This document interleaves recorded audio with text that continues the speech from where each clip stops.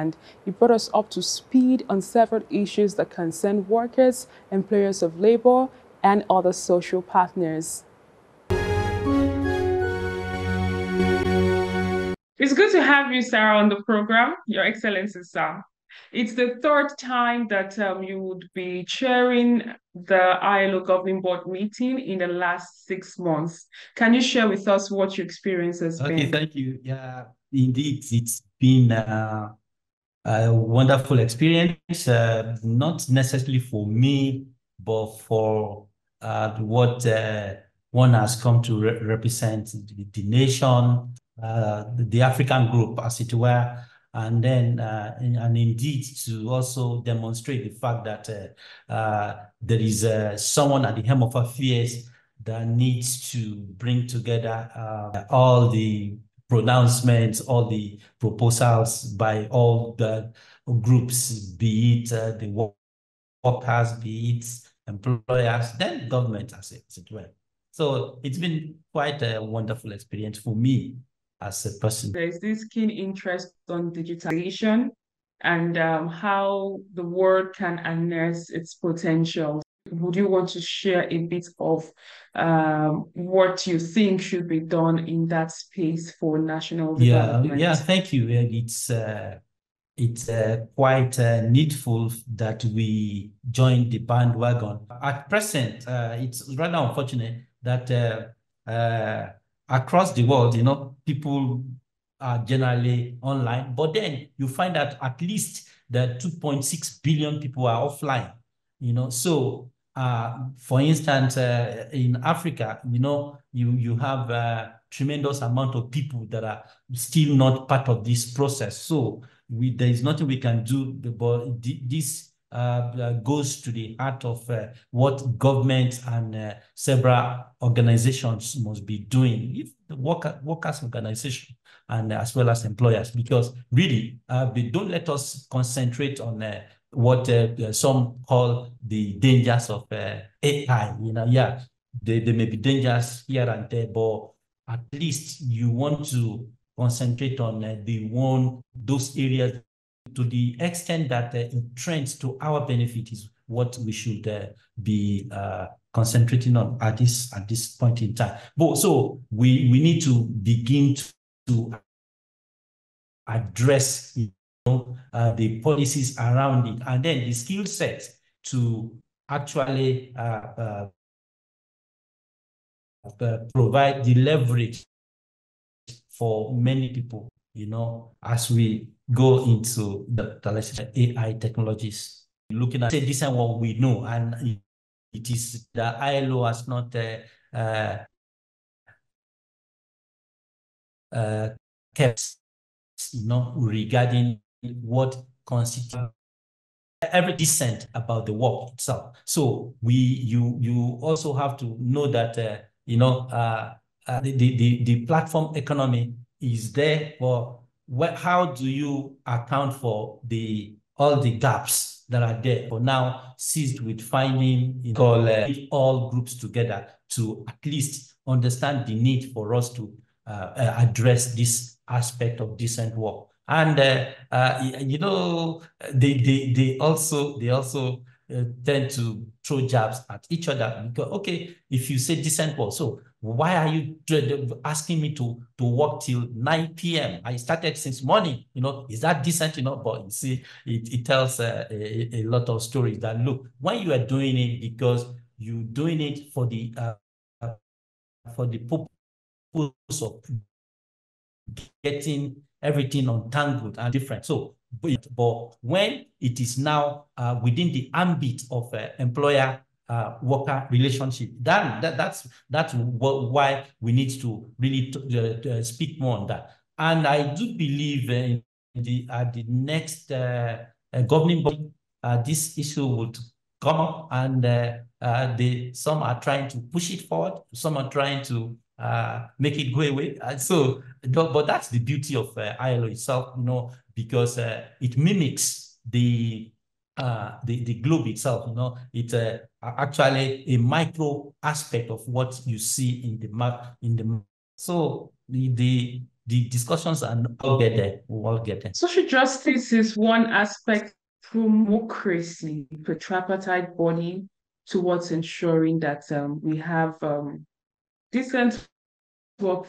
I, I, must comment uh, but uh, everyone that has really been involved in uh, uh codifying uh, the concept of social justice, be, be, be, be that as it may every pioneering uh, encounter the, a number of challenges, but the dynamics associated with justice is such that we cannot but address it. A decent one is uh, uniform and it's not uni it's universal.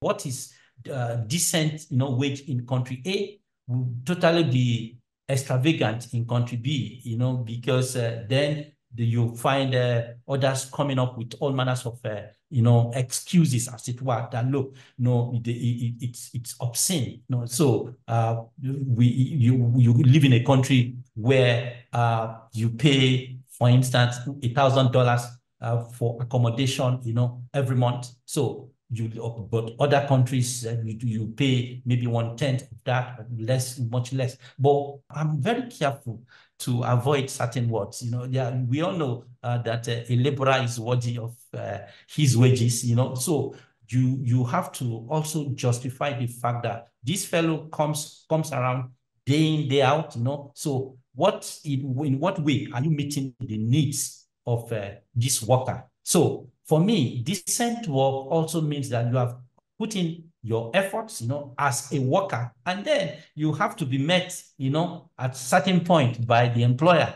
Uh, but, you know, I'm very careful, you know, in uh, uh, ascribing blame to anyone. And that is why it is important to have a body such as ILO, where all this will be discussed, you know, and trust me, all the parameters are always considered, you know, be, be, yeah, be you have experts that do this owing to the fact that it's a tripartite body system that is being um, that is operated at the ILO, can you tell, can you bring to fore um, how you've enjoyed this um, these measures or instruments um, while ensuring that policies being made um, meet up to world class standard in terms of labor labor laws?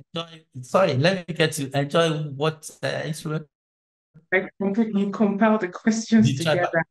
Yes, I okay, think tripartism is is in full okay. display, of course, and um, that's what makes ILO um, unique compared to some other okay. um, bodies. Okay. Um, can you tell us, um, as the chair of the governing board, how you've been able to use the, that particular style?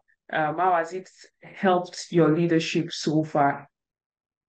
As as uh, an individual, you know, so uh, you used to uh, addressing only the government, but this this time around you have uh, uh, to your right the employers, your left the workers, or vice versa. Now you know you now know that uh, their uh, needs must be taken on board, and then their views and whatever proposals are coming from both ends have to be addressed properly, we distill, and then you you now bounce the ideas off uh, the government. So see, as long as uh, you always have a government in the middle, yeah, we can we can't uh, do without government. Workers surely know that uh, whatever you know uh, to achieve, they have to you know keep talking to to government. And it is important uh, for, uh, for us to ensure that uh, uh, discussion must continue, negotiations and dialogues, you know. So when we keep those conversations open and we keep them, you know, you, you and I understand, you know, ourselves and then we know that uh, we're going towards a place where, but and we know there is nothing we can do without each other so we need ourselves but you cannot also say that uh, it is only workers and, and government. But where are the employers? You know, MSMEs, where are they? You know, so you have to also ensure that uh, they are uh, involved in the conversations because without uh, uh, this three coming together with the, the, the, the, one arm of the, the tripartite organization is missing, and then you can't, uh, you cannot take any decision without. So for me, it, it makes uh, a lot of sense to understand the nature and the tenor of uh, that organization and uh, the applicability to uh, real life situation is there you know so you you you you just uh, have to know that uh, we have uh, different uh, uh, views of life and then how to now channel that and to arrive at a at, at, at a solution if i it if i must if i if i must add i think uh ILO is very distinct you know because it is totally different from any, if not all of uh, UN organizations. Uh, so you you you I I do I do make fun of office that perhaps you need to you need to teach other UN organizations uh, a lesson or two about uh, how we arrive at uh, uh, solutions and how we come about. Finally, talk what has been your institution but, but you just said that it's a difficult topic. Uh, it's actually a bit difficult, but the uh, how uh, how it was received, you know, by a group and the other group, you know, yeah, yeah, I I I see a lot of uh, tension around. For now, uh, the the atmosphere is a bit toxic. But look, we, we're talking about uh, uh, an issue as far back as you know, 1986. So, but but there are other other about it, you know, to to to ensure that uh, everyone, you know, we all feel a sense of belonging, you know, as a member of this uh, global body. So I, I do believe uh, that uh, in its entirety, you know, there is nothing wrong, you know, in uh, finding uh, an agreeable solution. Yeah, as I said, uh, the the atmosphere is a bit toxic for now, but and we'll continue with that this afternoon, incidentally. So I, and that's why I wouldn't want to say much about it, but to say that that it is in the interest of everyone.